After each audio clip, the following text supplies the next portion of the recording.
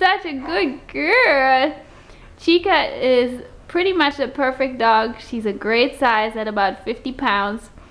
She loves to snuggle and to cuddle. She's friendly with everybody that she meets. and she's beautiful.